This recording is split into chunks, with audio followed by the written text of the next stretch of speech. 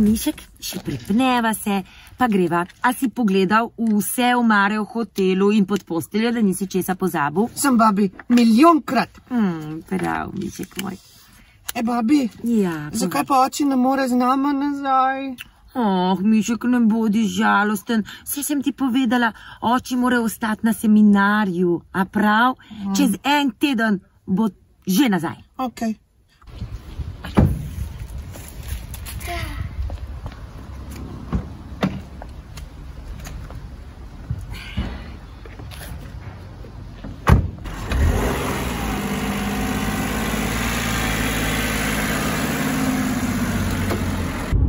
Časa se bova vozila? Ah, Mišek, kakšni dve uri, mogoče tri. Koliko je to? A, to je tako, kot če bi pogledal dva filma. Tok! Ja, no. Mišek, a si vzel svoj nahrbnik? Sem. E, Spakirala sem ti vse za dolgo pot. Samo malo pobrskaj, prav? Ok. Um, karte, malica, njam. Uh, voda. Zakaj pa tukaj ta blokec? A, nikoli ne veš, kdaj ga potrebuješ. Ah ja.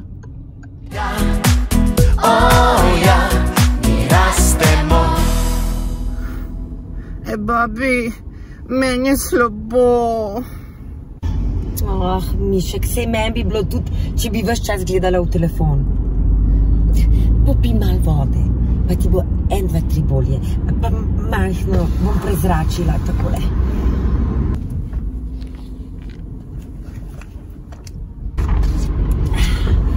Kaj, Mišek, a je bolje? A si greva eno igrico? Ja! Reče se ji potovalna abeceda. No, najprej pa našteva vse črke v abecedi. No, babi, se znam celo. A, B, C, Č, D, E, F, G, H, I, J, K, L, M, N, uh, O, P, R, S, Š, uh, T, U, V, Z, Ž. pravila igre izbereš, na kateri strani boš gledal svoje črke. Leva ali desna. Desna. Ne, ne, leva. Dobro, potem bom pa jaz desna. Zdaj pa opazujeva napise a? in poiščeva vse črke v abecedi. A gostilne pa reklame, pa prometni znaki tudi štejejo? Vse šteje. In ko rečem zdaj, tisti, ki bo našel vse črke, tisti zmaga. Ok, zdaj.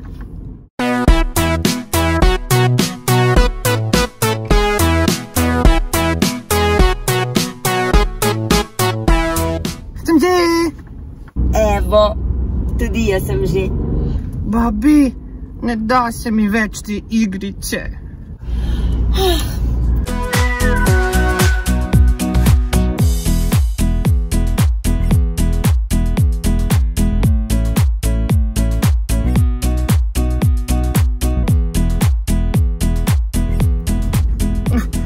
Babi, meni je spet slabo.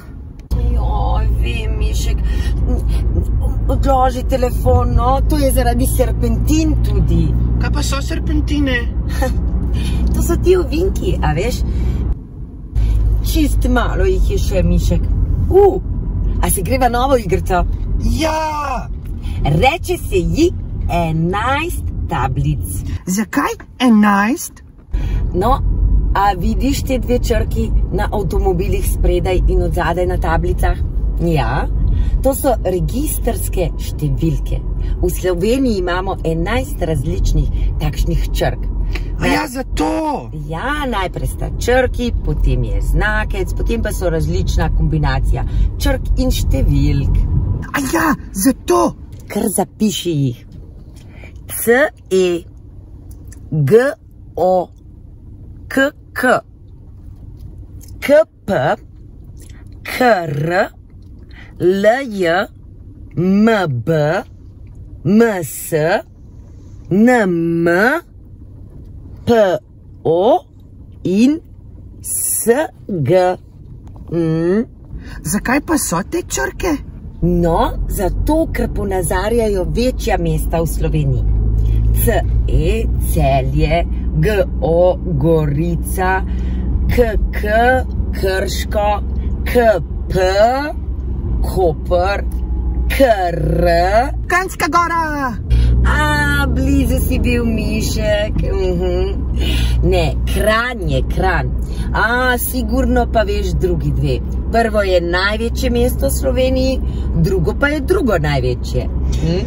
Babi, veš, da vem, Ljubljana in Maribor. Bravo, mišek. No, potem pa imamo MS, Murska sobota, PO, Postojna, NM, Novo mesto in SG, Slovengradec.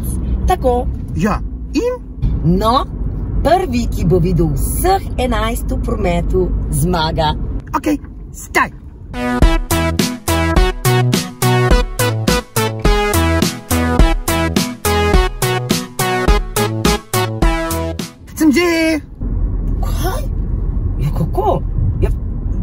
Meni še štiri manjkajo. vse so bile, presežem. Erik, resno?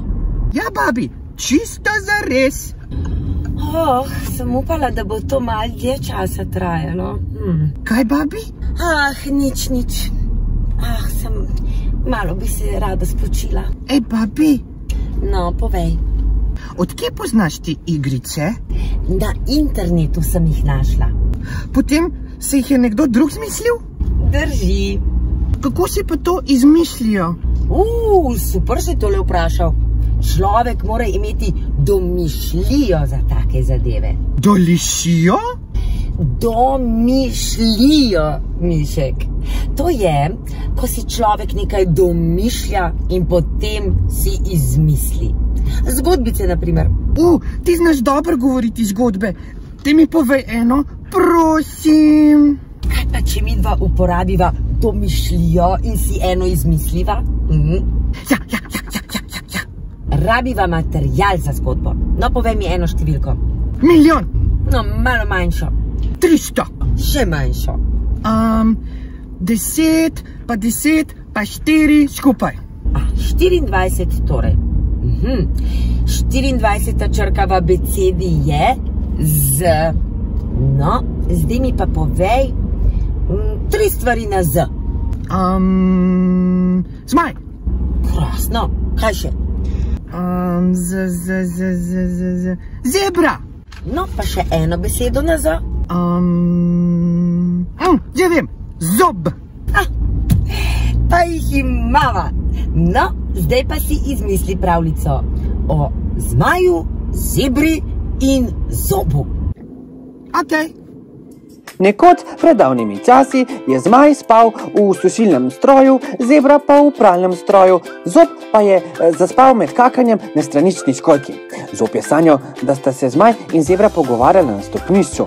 Pa je zebra vprašala zmaja: Zmaj, si ti en unik zmajev, ki sedijo na zmajskem mostu? Pa je zmaj rekel, da ja, in vprašal zebro: Zebra, a si ti bel konj s črnimi črtami ali črn konj z belimi črtami? Uh, pol je pa zebra kihnila in se spremenila v magični zob, ki je rekel: "Eh, Zmaj, izpolnil ti bom tri želje, če.